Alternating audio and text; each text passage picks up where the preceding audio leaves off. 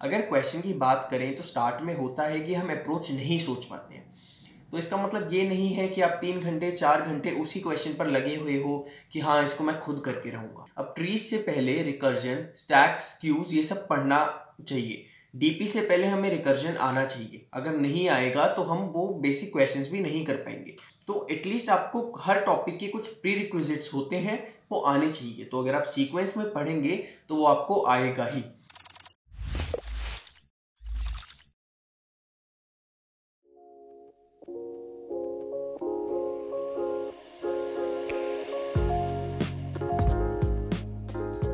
Everyone myself Naman Gupta generally DSA सीखते हुए almost लोग कुछ कॉमन मिस्टेक्स करते हैं। तो इस वीडियो में वो सभी कॉमन मिस्टेक्स के बारे में बात करेंगे ताकि आपकी प्रोग्रेस स्पीड जो डीएसए लर्निंग की है, वो इंक्रीज हो जाए।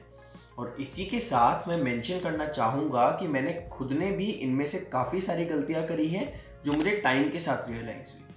अगर मुझे भी इन सब चीज़ों के बारे में पहले से पता होता तो शायद डीएसए और बेटर वे में और और थोड़ा जल्दी कर पाता। सो बिफोर स्टार्टिंग अगर आपको वीडियो पसंद आए then do like share and comment and also subscribe coding ninjas channel for more such amazing content तो चलिए वीडियो स्टार्ट करते हैं। सबसे फ़र्स्ट मिस्टेक जो जनरली 60 परसेंट लोग करते ही हैं कि वो कोड को अपने लोकल कंपाइलर जैसे कि VS कोड पर ही कुछ टेस्ट केसेस के लिए रन करके देखते हैं।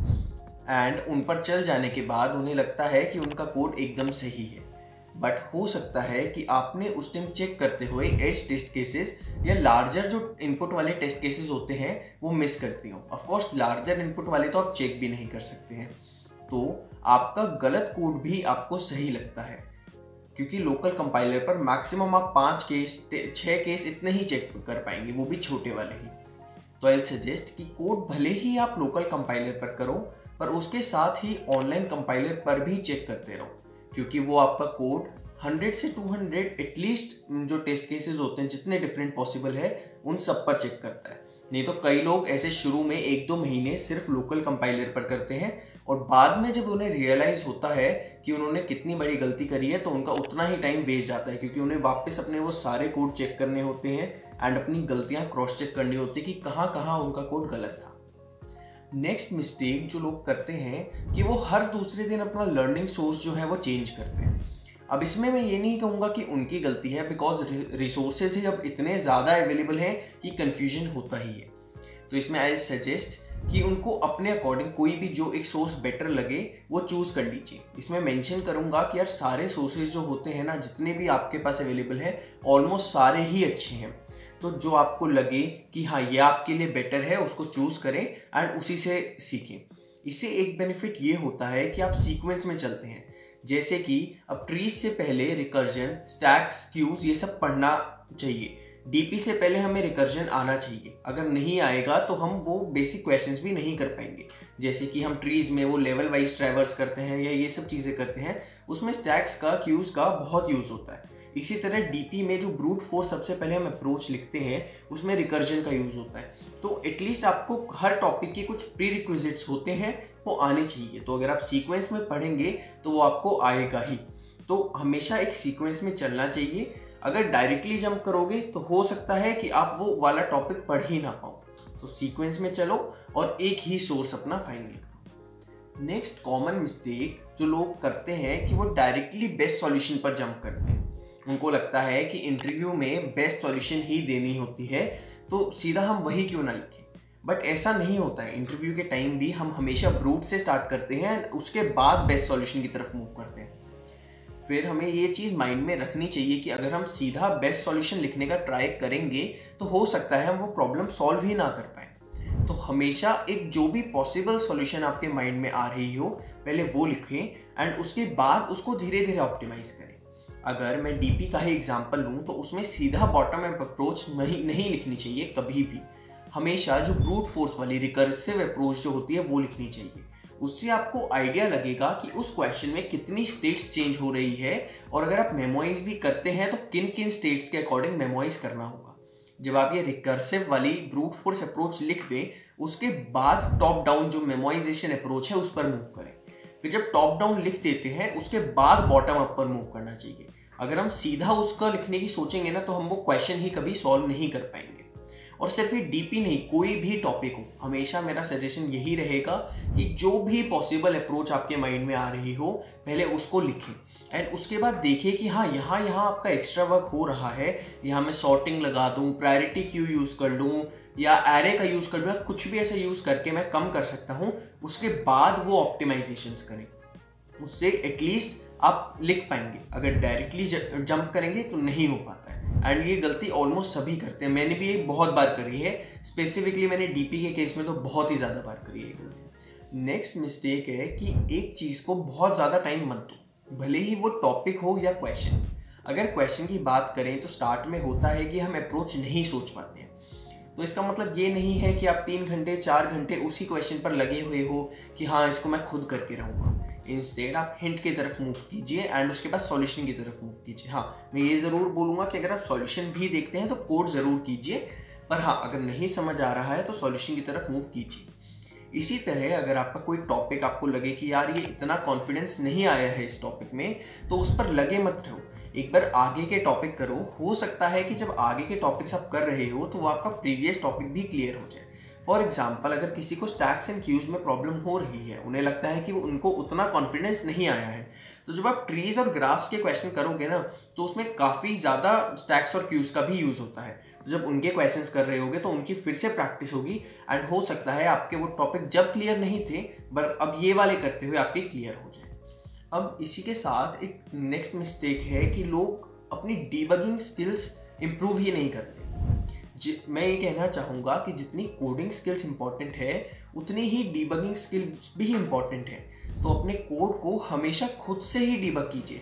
भले ही प्रिंट स्टेटमेंट लगाए ड्राई रन करें या कुछ भी कीजिए बट खुद डीबग कीजिए। बिकॉज़ आगे के टाइम में आपकी डीबगिंग स्किल आपके काफ़ी ज़्यादा काम आती है। और हमें अगर इंटरव्यू में भी हम बैठे हैं, हमसे अपने क्वेश्चन में कोई छोटी सी गलती हुई है तो अब कोई और आपके लिए आके डीबग नहीं करेगा, आपको वो खुद करना होगा। तो आपको डीबगिंग भी अच्छे से आनी चाहिए। पर कई बार इसमें यह भी हो जाता है कि हम कई देर तक सोचते रहे, हमें अपनी गलती मिले ही नहीं। उन केसेस में होता है कि कभी कभी हम छोटी छोटी मिस्टेक कर देते हैं। फॉर एग्ज़ाम्पल कहीं आई प्लस प्लस करना है, हमने आई माइनस माइनस कर दिया। हमने प्लस करने की जगह सप्रैक्ट कर दिया तो उसकी वजह से वो गलती हो रही है और ये इतना छोटा सा एरर होता है कि हम वो देख भी नहीं पाते। तो इस केस में आप उस कोड को पूरा इरेज कीजिए और शुरू से वापस लिखिए। जब वापस लिखते हैं ना तो सेम मिस्टेक कभी रिपीट नहीं होती है, इसीलिए। तो या तो डीबगिंग अच्छी कीजिए और अगर तब भी नहीं हो रहा है तो कोड को इरेज करके वापस लिखिए। अगली जो मिस्टेक है, वो जनरली जब होती है, जब हम डीएसए अच्छे से कर लेते हैं। डी करने के बाद जब हम क्वेश्चंस कर रहे होते हैं प्रैक्टिस के लिए तो कई बार होता है कि कोई क्वेश्चन हमें नहीं समझ आए। तो हम उसका सॉल्यूशन देखते हैं और आगे मूव कर जाते हैं। बट ऐसा बिल्कुल नहीं होना चाहिए। क्योंकि जितना हो सके हमें हमारी कोडिंग प्रैक्टिस होनी चाहिए, हमें कोड लिखते रहना चाहिए। तो सॉल्यूशन अगर पढ़ भी ली है तो वो बेटर रहता है कि आप उसको कोड करके ट्राई करो। और देखो कि अब तो कोई प्रॉब्लम नहीं हो रही है। ना और बाद की बात तो फिर भी ठीक है। लोग शुरू में भी करते हैं कि पेपर पेन की मदद से कोड लिखते हैं। यार पेपर पेन का आप ड्राई रन में यूज़ कर लीजिए अप्रोच लिखने में कर लीजिए, या ड्राई कोड लिखना है या तो भी कर लीजिए। बट जो फाइनल कोड होता है ना, वो कभी भी पेपर पेन पर मत लिखिए। उसके लिए लैपटॉप का ही यूज़ करें। हाँ कंपाइलर के बिना भी आप कोडिंग करने की प्रैक्टिस कर लीजिए बिकॉज़ कुछ कंपनीज़ जैसे कि एक मैं गूगल का एग्ज़ाम्पल दूँगा तो जब उसका इंटरव्यू होता है तो वो गूगल डॉक्स पे कोड करवाते हैं। उसमें आप चेक नहीं कर सकते, ना ही आपका कुछ रेड मार्क होगा, ना ही कुछ और पता चलेगा कि क्या एरर है और क्या नहीं। तो हाँ आप भले ही कंपाइलर पे मत कीजिए, पर हाँ लैपटॉप का यूज़ कीजिए पेपर पेन का मत कीजिए और कोड ज़रूर से लिखिए। नेक्स्ट एंड लास्ट मिस्टेक जो आज मैं डिस्कस करना चाहूँगा कि लोग अपने कंफर्ट जोन में रहते हैं। डीएसए के प्रैक्टिस के टाइम ये तीन केसेस में होता है तो मैं आज ये तीनों केसेस अभी डिस्कस करना चाहूँगा। सबसे पहला है कि हम शुरू में टॉपिक वाइज क्वेश्चन सॉल्व करते हैं। बट कई लोग क्या करते हैं कि लास्ट तक भी टॉपिक वाइज करते रहते हैं। बट इससे ये प्रॉब्लम होती है कि जब टेस्ट में क्वेश्चन आता है तो उन्हें समझ ही नहीं आता है कि ये कौन से टॉपिक का है। तो आई सजेस्ट कि at least 100 to 150 questions last में रैंडमली प्रैक्टिस करो, ताकि आपको पता लग जाए कि कहाँ पर डीपी का यूज़ हो रहा है, कहाँ प्रायोरिटी क्यू का हो रहा है, कहाँ कोई ग्राफ का एल्गोरिथम लग रहा है, इस तरह से सब चीज़ पता लग जाए। सेकेंड केस होता है कि अगर सपोज़ में किसी को ग्राफ्स के क्वेश्चंस अच्छे से सॉल्व हो रहे हैं एंड ट्रीज के नहीं हो रहे तो जनरली वो फिर ग्राफ्स के क्वेश्चन ही करता रहता है और ट्रीज के क्वेश्चन को इग्नोर करता है। इंस्टेड आपको क्या करना चाहिए? जो आपकी वीक जोन्स हैं, उन पर बल्कि सबसे पहले फोकस करना चाहिए। अगर आपको लगता है कि ग्राफ्स के आपसे अच्छे से हो रहे हैं और ट्रीज के नहीं हो रहे तो ग्राफ्स के उस समय आप एक बार बीच में रोकिए एंड ट्रीज के जितने हो सके उतने क्वेश्चन प्रैक्टिस कीजिए। थर्ड जो स्टेज है कंफर्ट जोन की, उसमें है कि लोग अपना लेवल ऑफ़ क्वेश्चंस इंक्रीज ही नहीं करते। वो इजी मीडियम करते हैं तो उसी पर अटके रहते हैं। जो इजी मीडियम क्वेश्चंस होते हैं ना, वो आपकी अप्रोच बिल्ड करना और आपको चीज़ें सिखाने के लिए ज़रूर हेल्पफुल होता है। बट जो हमारे टेस्ट होते हैं, हमारे इंटरव्यूज़ होते हैं, उसमें हमेशा मीडियम हार्ड क्वेश्चंस पूछा जाता है। तो कभी भी सिर्फ़ इजी मीडियम पर नहीं अटके रहे पहले हाँ कुछ इजी मीडियम कीजिए बट उसके बाद प्रैक्टिस के लिए मीडियम हार्ड क्वेश्चंस भी उतने ही इंपॉर्टेंट होते हैं। तो जनरली ये तीन जगह होती है जहाँ लोग अपने कंफर्ट जोन में रहते हैं, उन्हें बाहर निकलना चाहिए। तो गाइज़ ये कॉमन मिस्टेक्स थी जो जनरली लोग करते हैं अपनी डीएससी की प्रिपरेशन के टाइम अगर आपने ये वीडियो देखी है तो इन सभी मिस्टेक्स का ध्यान रखें ताकि आपके साथ ये नहीं हो। एंड इसके अलावा अगर आपके साथ आपने कोई गलती करी हो और वो इस लिस्ट में मेंशन नहीं हो तो आप वो कमेंट करके ज़रूर बताएँ। बिकॉज़ हो सकता है कि आपने तो वो कर दी, लेकिन और लोग भी कर रहे हों तो उनकी काफ़ी ज़्यादा हेल्प होगी। साथ में मैं मेंशन करना चाहूँगा कि अगर आप बिगनर हैं एंड फाउंडेशन प्लस डी से पढ़ना चाहते हैं तो उसके लिए कोडिंग इंजाज का एक काफ़ी अच्छा डी प्लस फाउंडेशन का कोर्स है। इस कोर्स में आपको one is to one doubt support भी मिलता है एंड एकदम स्ट्रक्चर्ड और काफ़ी अच्छे वे में इस कोर्स को बनाया गया है। और इसके अलावा अगर आप पढ़ चुके हैं एंड आपको सिर्फ़ और सिर्फ़ प्रैक्टिस करनी है तो आप कोड स्टूडियो ज़रूर ट्राई कीजिए।